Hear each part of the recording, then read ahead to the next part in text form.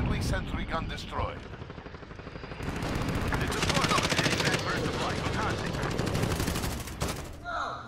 Oh, Smells like.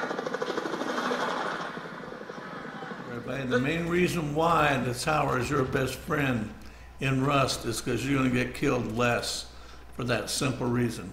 You hang out that middle platform, you're not silhouetted against the skyline so I'm going to show you in a moment how I get a super kill and I pull a police force right here on this little platform right here.